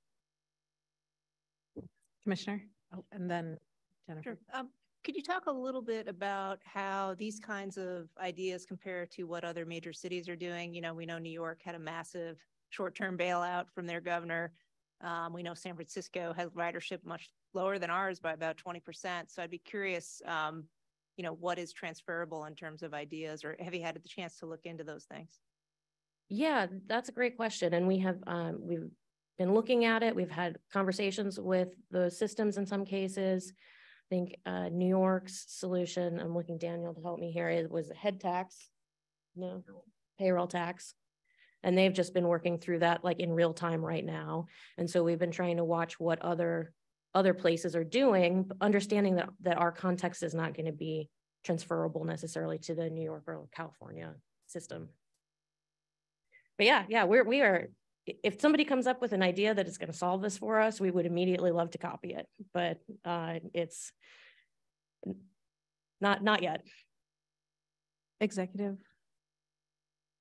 So just, I guess, a, a little bit of a question, a little bit of an observation, you know, uh, some of these ideas for funding are solutions that are, are not in our control here. Mhm. And so I don't know the, the will of the, um, the General Assembly. I mean, obviously, service tax has been talked about for years and everyone's grabbing at the same dollars. I, I, I guess I'm trying to understand too, how engaged this, um, this conversation and these ideas are in conjunction with the, the governor or um, leadership at, at the, in the General Assembly, because most of these ideas, I we have no control over. So we're coming up with solutions that we can think are a great idea, but obviously a vote for a service tax increase is not going to be very uh, popular. So is there anything internally in regards to solutions? Um, even if they're minor ones, even if they're moving, you know, moving us a little notch that we, you know, CMAP or the RTA can control a little better? Oh, things we can control better. Um, Because we can come up with the best plan, and again, there's gonna have to be a vote somewhere. And for people who are elected, um, it's a different ballgame. Yeah, We deal with this all the time, solutions that, you know, you have no, you know, there's no collateral damage for a lot of the people sitting at that, this steering committee table, you know? Well, uh, I'll, I'll, start by just saying that I think we're, we're fortunate in that we're doing the report at the request of the legislature. So, you know, I think in one sense, we view our role as providing our best professional assessment of the situation and what the options are. Um, but I, but we're also having a lot of conversations with a lot of people to try and understand what the dimensions of getting to yes could be. Uh, and I think this is more of a, an Erin thing to comment on from this point. Well, no, I just hope none- all of you aren't kicking me under the table here. I mean, again, the, this, uh, we aren't under any false impression that these, these are complicated issues that are going to require us to follow through on, right? It's not like we're just going to be able to hand this off to the General Assembly and they'll be like, oh, great, let me implement these things. Um, but they're going to need to have to see the support that comes along with it, which is, I think, one of the reasons why we curated the um, uh, stakeholders that are part of the working group that have broader reaches, the Illinois Retail Merchants Association, or many of our economic development partners. We're really trying to make sure that we're understanding from others beyond the transportation sector, the implications here. I will also share that there are places across the country that are having conversations about how they're spending their CMAQ dollars or how they're spending their FTA dollars or how they're or um, FHWA dollars and where they're flexing them. A lot of that has to do with capital investment, but capital investments could help support uh, the rebalancing of um, operational uh, investments. None of those are civil, silver bullets unto themselves, but it's a conversation that this region could also have. And by this region, I mean this table and this body in terms of the policies and how we spend our transportation dollars today. So if you didn't like anything you said, Elizabeth said, you know, perhaps you don't like anything I said either, but that, you know, I, I want to make sure that we're having an honest conversation because you did ask, what do we control? I want to, I know Frank wanted to weigh in and then um, Sarah Kwasneski. Yes, I, I just had a comment and a question. The, the comment is that the comment is that the, the fiscal cliff is real and big and major and we need to address it and it's not going to be easy. Uh, in terms of the options laid out here, I have a personal bias against the uh, sales tax increase. Uh, I understand about the services, adding that, but that's has been commented on that it's been discussed for twenty years or more without much progress. My bias is that we ought to be doing more of the parking fee, the vehicle registration, motor fuel tax, reallocating state road funds and tolling as possibilities because it's less regressive than the sales tax. The sales tax is a very regressive tax. Uh, and second, you get the connection between road funds and drivers and licenses and so on who are beneficiaries of better transit. So I think we ought to be focusing as much as possible on uh, taxes uh, that address automobile traffic in one way or the other, and there are multiple taxes. That's the comment. The question I have is that uh, any business or household that faces a fiscal cliff starts looking at their expenses. Are you looking at cost savings? Uh, the RTA does a great job benchmarking our service boards in comparison to national peers. And when we've looked at this, we've really seen that they're pretty efficient. Um, that is not to say that uh, there shouldn't be a conversation about good financial stewardship and that that has to be part of selling this to people because you can't just say, I'm, uh, trust me, I'm efficient. Like we, we have to make that case and tell that story certainly and continue to be uh, creative and thoughtful about how, what efficiency could look like in the future. You know, are we always trying to push towards doing the best with what we have? And I think that comes down really to the conversation about performance measures that I was alluding to before uh, you know, if financial stewardship of the transit system is important to the region, what is the appropriate way to think about that and evaluate it in comparison to our goals? Well, you're right. You're right about, I mean, going to the public and saying, we need more money, give us, we'll raise your taxes. Not gonna work, yeah. Well, have you done anything to address costs? If the answer is no, it's perfect, then that's a tougher sell. Chair Kwasneski. Yeah, just a couple things. One, uh, just on, on, on Erin's comment about potentially shifting some of those capital dollars to helping us with our operations. I think that's kind of, I, I don't, I don't see how, even given, even give transit agencies the option of doing that, I don't see how that works when we're all trying to get to zero emissions and there's monumental cost, infrastructure costs in regards to that. That's just, a side comment. My other comment is, have, have you guys reached out or looked at, um, or contacted APTA? I mean, obviously, uh, uh, Dorval is the president of APTA. And across the country, there have been referendums specifically for, and I know you guys had looked at this before, uh, Erin, specifically for uh, public transit and whatever they're calling it, uh, they've been, there's been a number of successful, a lot of successful referendums. There's been some failed ones, but I think it, the successful ones far outweigh it. And I think it's a matter of coming up and saying, listen, you all say you want additional services. Um, and, you know, unfortunately, we're having this conversation when we're talking about the financial cliff of what happened with COVID. So does that help or hurt the situation? I don't know. But I, I guess my, my comment is, you know, have, have your consultants looked at the successes of some of those referendums across the country of which I just pulled it up right now and depending on the year, there's quite a few. So what are they doing in convincing people that transit is worth more than we're not doing? Or just we haven't tried? Well, I think you bring up a good point. I don't know to what extent the team has looked at referendums. Um, I think not in a in a super focused way, but we're generally aware of it. I guess my my one reaction is that those referenda often are supporting new like new rail or big new things that people can see and touch. And I think our situation is is a little bit different, but your comments make me think, well, it wouldn't necessarily have to be if you framed it around a energy transition or you know mo modernization or the future or so, something like that. So that's a that's a good thought and something we'll think about more. Yeah, it just, I mean, obviously, we're talking about not just balancing ourselves because of COVID. We're looking at the future of whatever transit agencies or transit we want in the region. So we are looking at those things that are Mhm. larger projects that need to get done, whether they're with CTA or Metra or with us. So, you know, I think when we're looking at that, we've got to be looking across the country. And I know there's been some comparables that the consultants have done that relate to some of the benchmarks and so forth. But, you know, what about the success of those referendums? They're happening across the country. Yeah, and I think historically this region hasn't had a whole lot of referendums, but we have had a successful example in the Cook County Forest Preserves re referendum that happened recently. Um, you know, and that's to invest in the existing infrastructure of the, the forest preserve. So I think it, it's, it's worthy of consideration.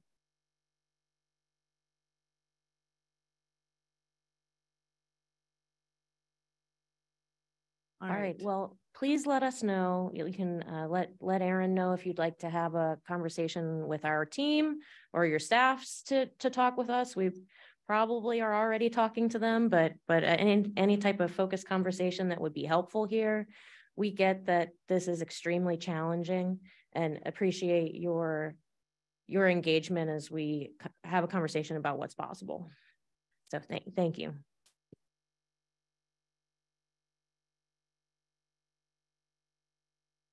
Okay, thank uh, your patience. This is effectively three presentations in one.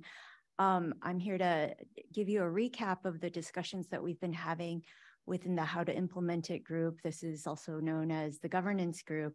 Um, you'll see here we're not nearly as far along as the other two discussion groups um, because we've been waiting to hear what is it that we're supposed to implement and how are we going to fund that.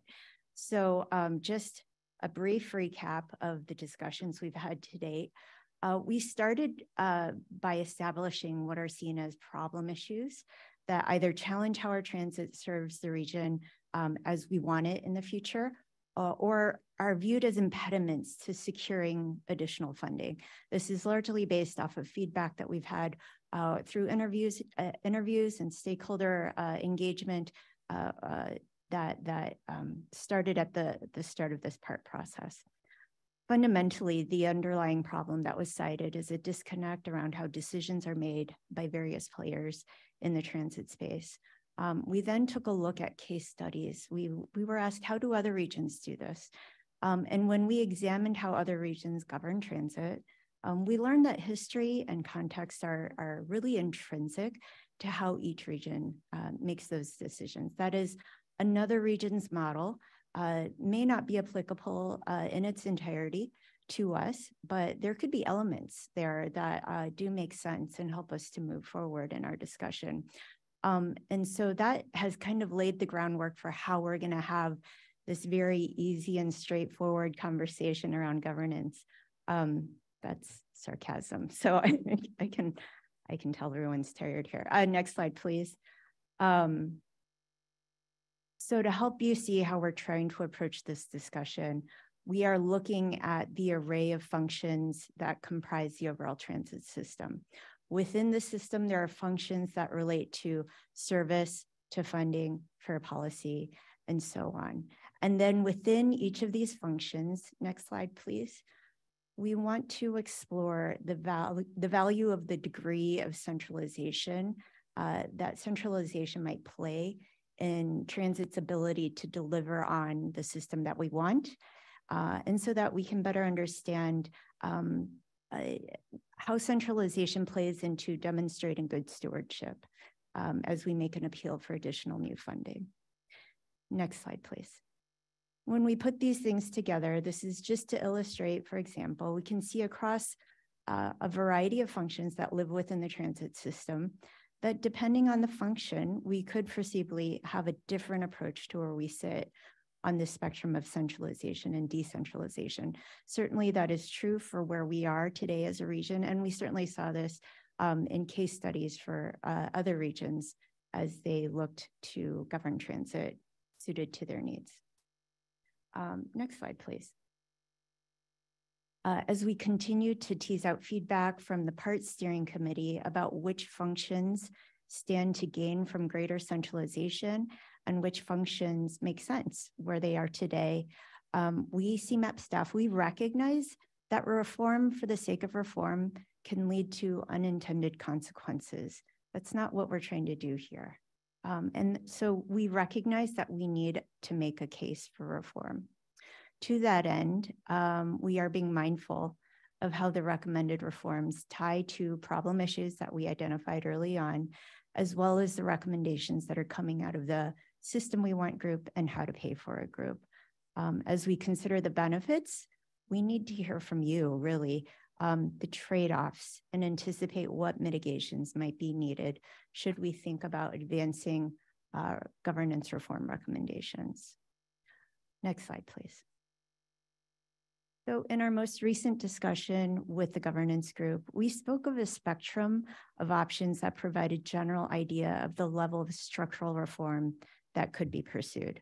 Um, at the top, well, with being uh, the most decentralized, you can see the first option uh, was to minimize the role of RTA. Let's take out um, its oversight and other functions and just have those dollars flow directly to the service boards. Next was status quo. Um, you can see both have been grayed out. Neither of these options we felt uh, would help us address the problem issues um, and uh, really help us achieve the system that we want. Um, the remaining options include keeping the structure as it is today, but consider a different way of allocating funding. As many of you know, most of transit operation dollars are allocated by statutory formula. After that, there's the option of keeping the current structure by strengthening the RTA. This could, just to go back to uh, some of the examples we showed before, this could be a potential uh, strengthening of the RTA on certain functions, um, but again, keeping the same structure. And finally, the most centralized option is a full integration of all agencies into a single regional entity reporting to a single board of directors. Um, in the coming weeks, the discussion group will be adding more uh, uh, flesh to the bones here around, around these last three options um, to better understand the potential benefits and trade-offs uh, there may be with these three options. Um, so with that, we'd like to hear some feedback. Um, the next slide is uh, our discussion slide, but it might actually be helpful to go back to the previous slide. If we could, yeah, thank you. I'd, I'd like to get some feedback from you all. If this is where we're going uh, in terms of the different models that we'll be further teasing out, uh, bringing uh, more recommendations around different uh, variations of these models, what are some of the things we should be thinking about? What are some of the benefits or trade-offs that you see associated with any one of these three?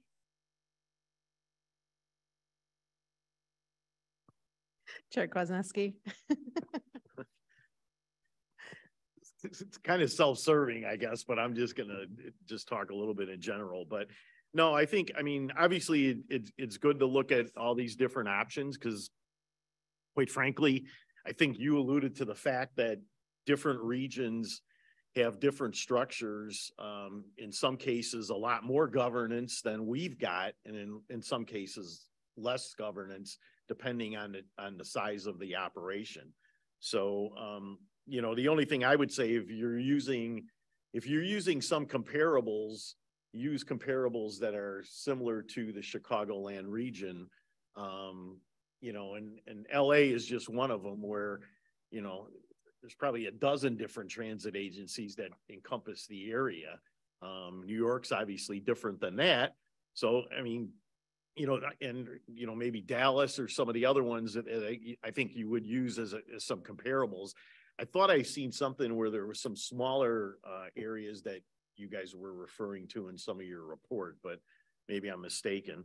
Um, just, just to say one thing too is, you know, and, and, and, you know, I think we collectively as the transit agencies have been doing a lot more collaboratively in the last five years or more um, that I remember more than ever. I mean, we're we're talking about you know coordinating on services both with us and the CTA. We're talking about connectivity with um, both CTA, Metra, and Pace.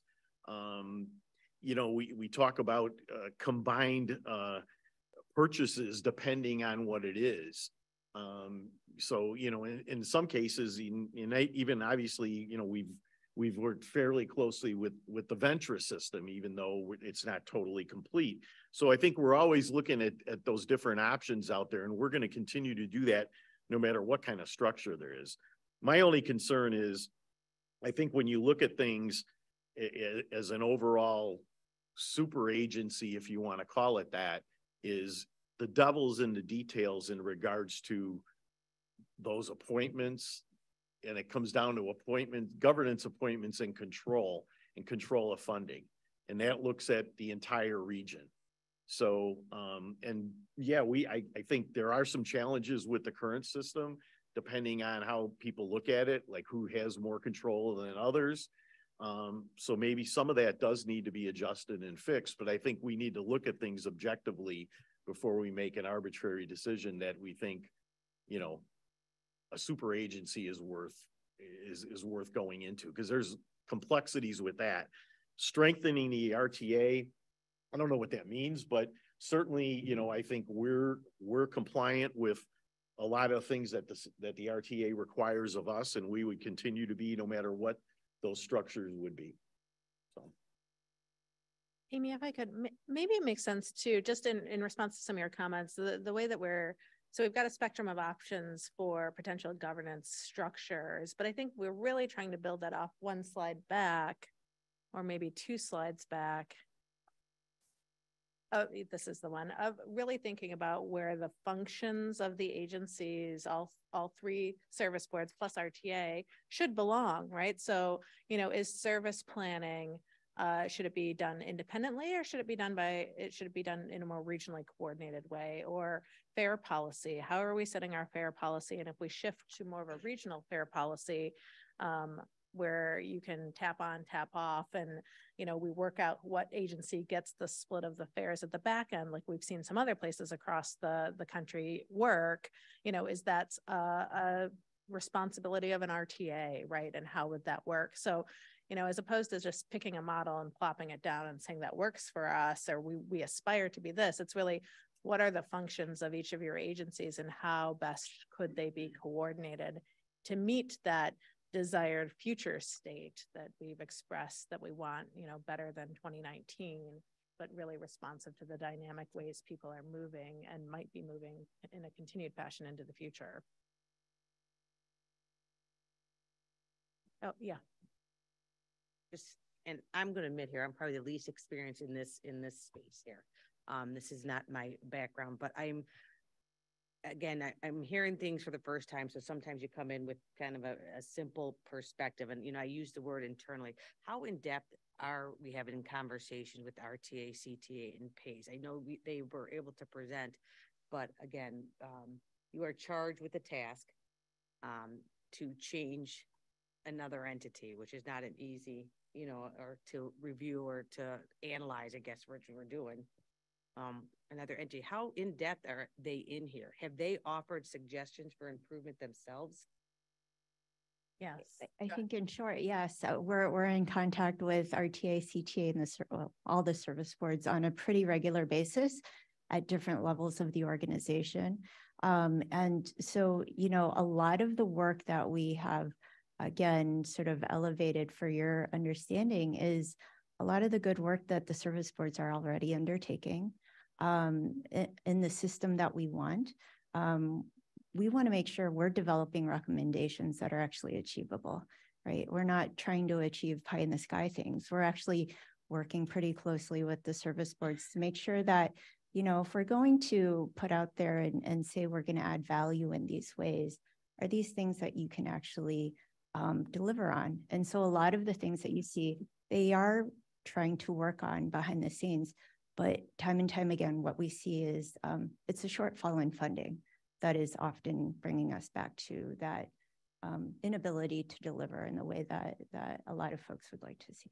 And so I guess that's my follow-up question. If that's the answer, are, are they internally looking at ways they they cut their own costs? I mean, that's that's that's kind of the the own question. Again, I, the goals are great. I think they're wonderful. I think we all agree with the goals, but it always has to start internally. And I, I guess it'd be a nice um, a nice opportunity just to to look at where they think. I mean, I guess if I'm hearing Pace say yes, let's go to a regional, uh, you know, a regional approach, or you know, a one single entity, it, it it's a little different than us all here recommending that to them because it's easy for I us to. And you did not say that. You did not. But I, I guess I, I, I, I value the experts and that's, that's what I'm, I'm trying to say here. I, I really value the expertise of these people in there. We know that we have to have a solution. You can't keep going the same, you can't keep, um, continuing this path. So let's put more responsibility on the experts in there and saying, we have to do this, so get here and come up with some real changes. Yeah, thank you. I know No. that's not a new idea, but I'm No, just. no, but it's, it's a very good, like, common sense question to be asking. And I think that those questions, you know, to, um, in previous meetings of the Transportation Committee, um, as well as directly with the PART Steering Committee, the service boards have been very upfront about discussing some of the, um, efficiency strategies that have been implemented. Um, they recognize that costs are going to continue to grow with inflation and things like that out- outside of their control. Um, but I think that the gap that we're talking about is sizable enough that what we really are talking about is service cuts at the end of the day. There's not a whole lot else um, that will really uh, meaningfully bridge that that gap. I, I, but I just want to say, I, I think efficiencies can always happen, and I think we continue to do that, and, you know, we're certainly open to opportunities that we actually work together. And, you know, we could be not thinking about something today, and in, in a year, all of a sudden, we're working with one of the other transit agencies on some kind of an endeavor that's gonna save all of us money. So we'll, we'll continue to do that, and I think that should be something that should be part of everybody's goal. Agree. That's best coming directly from you all. Um, and I, and I think to that extent, I think, um, you know, governance plays a role in helping to tell that story with transparency and, and accountability. And so those are some of the things that we want to further explore. Frank, I saw you grab the microphone and then Jim. Yeah. Um, uh, We have three, three service boards who- who perform extraordinarily well when you compare them to uh, uh, national averages in terms of performance or efficiency and so on, well-run, well-managed. So, and so the real question is not what are you doing now, but the question ought to be for, for Rich and Mike and Jim, the governor calls you up and says, I want you to be chairman of the board of the RTA, or I want you to be CEO of the RTA. Would you do that for me and be responsible for transit for metropolitan Chicago? What changes would you like to see? What would you say to the governor and say, I'll take that job if? Or would you say, okay, thanks? I, I, I think we'd really have to have some thought into it, but I mean, Frank makes a very good point because I think no matter what the sell job is on, on whatever we try to end up raising these funds and coordinating between the agencies, it's gonna be a matter of what plans do we have individually and then together as a region for these improvements, because I don't think it's gonna come just basically saying, hey, by the way, yeah, we're gonna reform and we're gonna build this one agency, but we're gonna add some more funding to it and we're gonna give you a carte blanche. So, you know, I think all of us have that challenge. I mean, we've got some, you know, unique things that we're trying to do th- throughout the, throughout the collar counties with on-demand service and, and, uh, you know, working with TNCs and a lot of different other things. But, you know, I think collectively, I mean, it would be, it, it would be a collective endeavor, and I think the RTA's probably got a better handle on all of our projects on what priorities would be, but that would be, that would be a challenge, Frank, if, if, I, I wouldn't think that would happen, but that'd be a tough one. Maybe, maybe Omer would. So, no, but I, I, I think that's a point in case. It's like, okay, who would do that? And, or what would that, what would the complexity of, of that type of board look like? I mean, and then how does that sit with the governance aspect of those appointees where, you know, governor appointee and city appointees and counties and so forth? I mean, it's pretty complex. It's a, it's complex as it is, I think. I know, Jim, want to add something? And us, we've got Mayor Schielke and, okay. Oh, uh, Jill, sorry. Did you, oh, Jim. Yeah, I'll take that job if. I mean, this is what it boils down to, what I've been saying. It's, it's the funding. The funding has to be put in place and it has to be built in a way that it doesn't deteriorate. In 08, the funding that was put in place, which was thought to be a solution, deteriorated. And that's why we had the fiscal cliff that we're not hitting now. This is COVID related. But in twenty nineteen, every single one of us is making adjustments because it wasn't sustainable. You, you take the job if it can be readdressed and, and looked at on a continual basis to make sure that the system that you want is the system that you can provide. Here's my resume. And I agree with, uh, um, we don't need a super board. That, that, the, the govern, the changing governance doesn't change the, the fundamental problem. The fundamental problem is funding.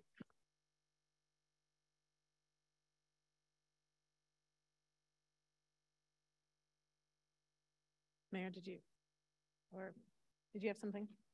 Yeah, I just wanted to throw out, uh, I think the wild card in the room here is the physical disparities that are found in our region. And, uh, for some other stuff I've been involved with, and some of you know a little bit about it, I've had the opportunity, I have visited every neighborhood in the entire region. I have been in every town, every neighborhood, uh, seen it all, and I will tell you that if you go and look at it, there's wide, there's neighborhoods where there's maybe three houses out of twenty are occupied, there's businesses are closed, uh, conditions are run down, there's other places that are, you know, just beautiful and full of stuff.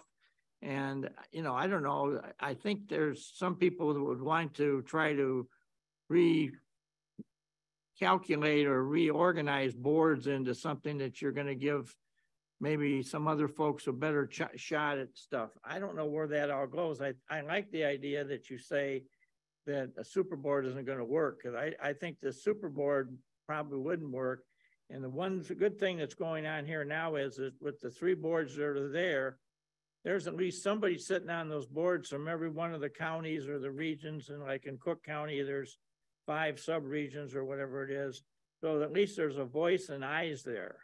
And you, you really have an idea then of, you know, what's going on and everybody's hopefully in the room is speaking for the room because I, I could see you creating something super and suddenly there wouldn't be anybody there representing one of these areas because this disparity of, of success versus failure or however you want to describe it is, is very, very widespread in the region and we have it much more so than I think most people realize. This? Thank you. Just a, a quick comment, as you're looking at one of the options, you know, stronger regional coordinating agency, but keeping the service boards and having this slide up, you know, what analysis CMAP is doing that obviously everything can't slide over. We've heard about governance and some of the challenges with that. But if there were further pursuit of that option, which one or two of those green lines starts to move toward the other? Because I mean, I think how that looks, it's, it's the ripple effect of domino. So I think as we flush out this conversation more, what would be, you know, back to Frank's earlier question, you know, if you took the job, what would you do? What would be the top two, two things? Yeah, thank you. So we did um, send a survey kind of along these lines to the PART steering committee. We want to really gauge an understanding, have a meaningful discussion, right, around the things that they want to have achieved and what does that mean for each of these functions. We often get to this um, whenever we talk about money and power, it gets to be a very complicated discussion. And so what we want to do is make sure we're being thoughtful when we talk about a mega agency or a strengthened regional entity, what needs to be strengthened to achieve um, the system we want. Okay, so I actually just have one quick slide after this. Um, and then I'll, I'll keep it brief. So just so you know, recognizing some of the comments that were made before, we recognize that this is a monumental task and it's not really just on CMAP, it is on uh, the region as a whole. And so a lot of the recommendations really do need to dial into what do transit riders want? What do taxpayers want? Um, RTA has launched a very expansive effort to get feedback from the, the public on these things. What we've done recently is we've uh, convened some targeted focus groups just to dial in a little bit more. Um, you could see up here on the screen the focus groups that have already been conducted and then um, three remaining uh, focus groups that we'll be conducting over the summer to really help us paint the full picture of the impacts of transit in our region. Some quick takeaways um, that we've heard so far. Public transit is an essential public service. It's recognized, it's not a business. Um, and so this is pretty critical for the for government to really step in. The other is that um, you know the theme here is we can't the the um, funding mechanisms that we saw earlier uh, are are a heavy lift, but we also can't afford to let transit fail Um, transit plays an essential role to support tourism, um, our workforce, congestion reduction, air quality uh, concerns, as well as uh, supporting an interdependent regional economy. Um, and another thing that we've heard too is that uh, regional transit really needs to um, move more towards regional, um, a recognition that perhaps um, maybe some of the the dis the, the fragmented decision making here really challenges our ability to be agile and to um, be responsive to the changing travel markets that we're seeing today. Um, with that, I I don't know if we have any more to cover. No, I, I think the next uh, slide, it just shows that uh, we are working on white papers on all of these issues that we discussed with you today. We will be delivering some video presentations that we'll make publicly available and send to you all. I'm working on getting out to all of the county boards um, as well to discuss with them about priorities and policies. But um, if there are things that you specifically would want to talk with us about, we are getting lots of things on the calendar. So let us know if we can come talk to you about this in more depth. Um, Okay. Mike. I'm going to go back to um, the, the concern about the governance structure and, and several points of view have been aired here. Um, I, am very familiar with what they're doing in New York, uh, and I have good friends that work there. One of the friends of mine, who's a peer of mine, runs one of the bus, one of the 35 bus garages for New York's transit. Um, and he recently got a new bus garage. But in New York, all of the capital construction is run by the big agency at the top. And so he had no say in that garage at all. Uh, and at the end of the construction period, he got a box of keys and he and his staff moved into a bus garage with their buses. Um, but but they had no say or no concern. And, and so there are unintended consequences of whatever type of structure you want to put into place. Is, is that good? I, you know, I, I'm not in a position to judge whether it's better to go on the New York model so that all of their capital construction projects are run by the New York's MTA Capital Construction Division, not by the bus division. But this was a this is a bus garage that's in Queens, um, and and there are certainly local needs in Queens. But the bus garage was cookie cutter built by the Capital Construction Group and then turned over to the operating group to actually operate out of that garage. And he said he's going to be adjusting for the next five years to figure out how to live within this bus garage and change his organizational structure or his operating division because of what the capital construction division, the, the overarching built for him and turned over to him with a box full of keys. So again, unintended consequences, we have to be aware of those. And, and as has been pointed out a couple of times, it's important for us to look at what our peers are doing and what works for them and what doesn't work for them. What are the good things that come out of that and what are the bad things? And, and I, I appreciate the, the eyes open approach that the CMAP staff have been taking to this because they've been asking all of us. They've been, as mentioned, they've been in contact with our staff and and, and the folks at PACE and, and the folks at Metra as well, and the folks at RTA and talking through these.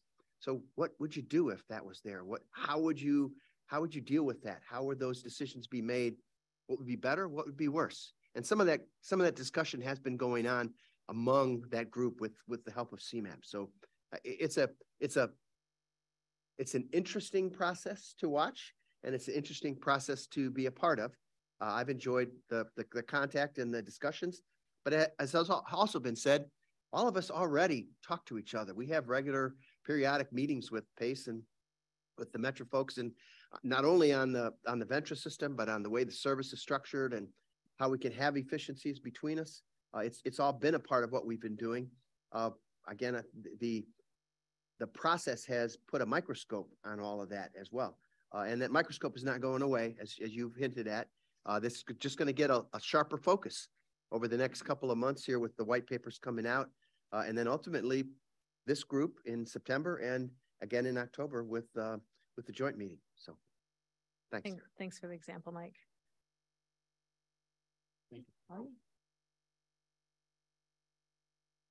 No, uh, thank you. Thank you, everyone. I think uh, CMAP, uh, all three presenters, you guys did a terrific job highlighting uh, all aspects of this critical issue. This we got our work cut out for us, period.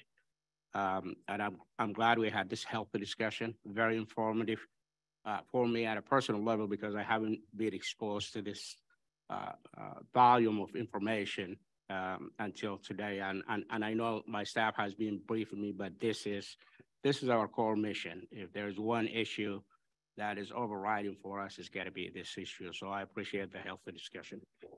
And with that, uh, I would like to move on to uh, item 6.02, and that's Mr. John Carpenter with the legislative update.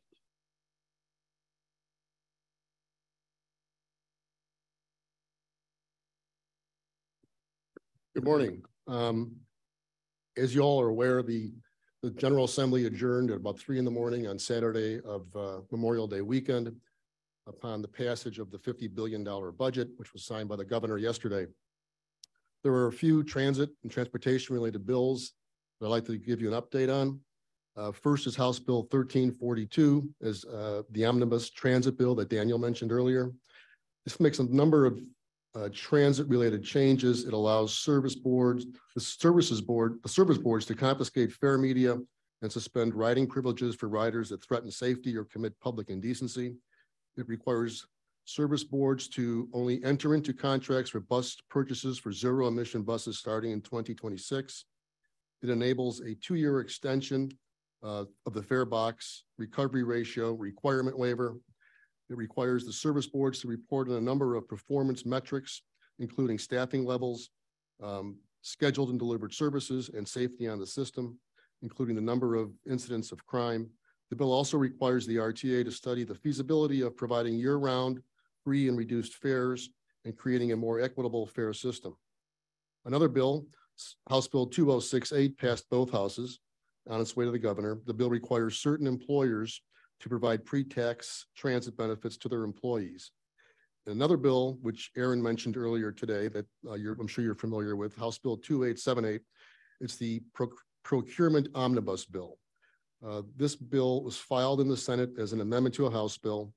Uh, the amendment included a number of changes to the Public-Private Partnership for Transportation Act, including removing the reference to MPOs in the statute and language that requires uh, 3P projects to be compliant with the regional plan. While the state can't change what MPOs are federally required to do as part of the regional transportation planning process, we prefer this language remain in the bill, be retained in the statute. Uh, we expressed this concern, concern on this provision to the House sponsor, um, Majority Leader Jay Hoffman, um, who was surprised that it was in conflict with federal law. He understands our objections and he is committed to us and he committed to us at the committee hearing uh, to address our concerns at the upcoming, during the upcoming veto session with a trailer bill. Uh, we're in the process of preparing a much longer summary and analysis of legislation enacted by uh, the recent General Assembly session, and we will provide that to you when it's complete. If you have any questions, we're happy to answer them. Any legislative questions for John? Pardon me? I said any legislative oh. questions from the body for John? No. Thank you. Thank you, John. Thank you. And with that, um, down to the public, uh, public comment. Do we have any comments from the public who are here physically today? Any comment from the public? Seeing none, thank you. I have one. Uh, I'm on Zoom. I'm not sure if I can be heard. Look, it looks like we have two uh, hands raised for virtual public oh. comments. So Yes, please.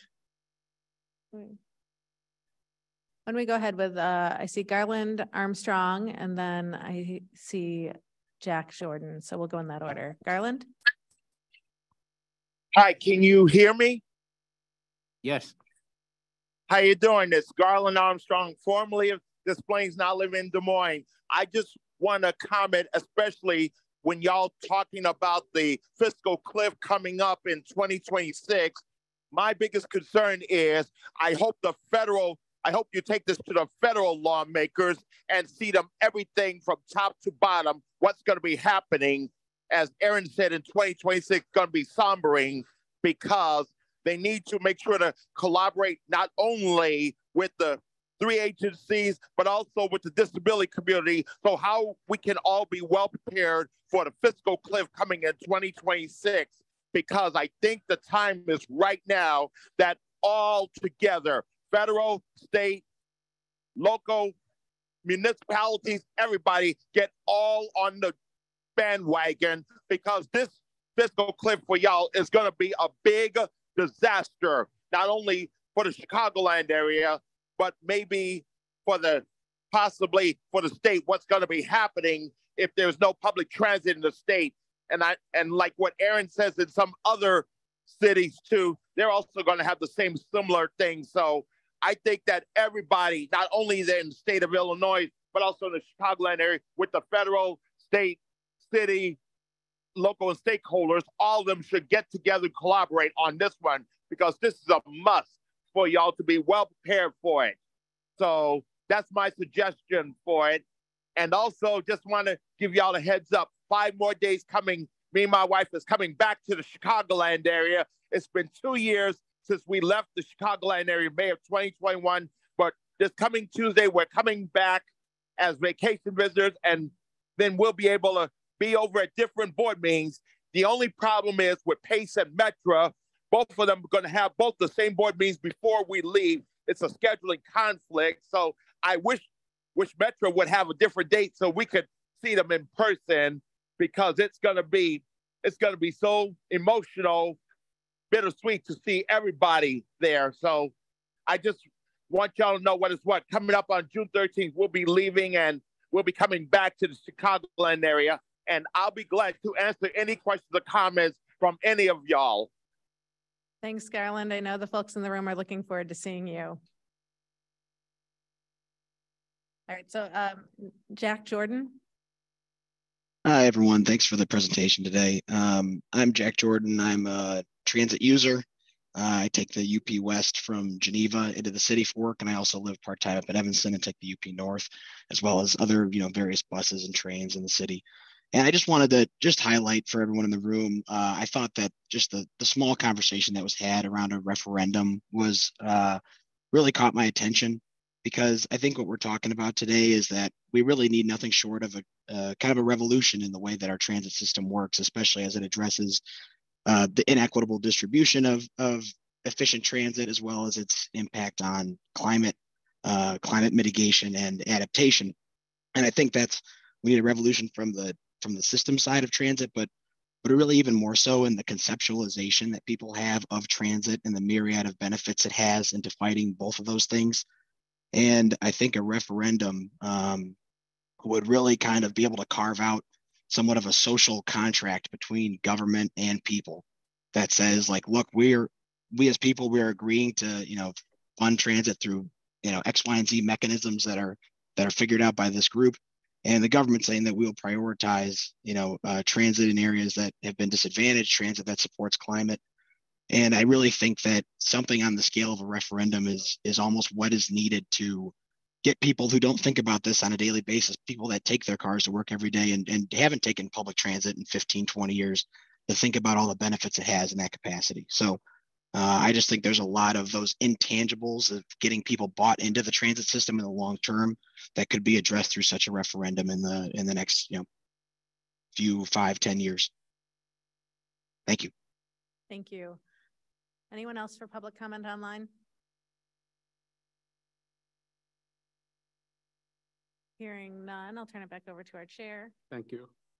And with that, um, I think it's been mentioned before, as a reminder, we will have a special meeting scheduled with the CMAP board on Wednesday, September 13th. It will be on the second floor of this building right here. Um, last item, can I get a motion to adjourn? Thank you. Second. Second. All in favor, say aye. Aye. All opposed, say nay. Motion carries. Thank you. Thank you, everyone. Thanks. Thank you. This was good.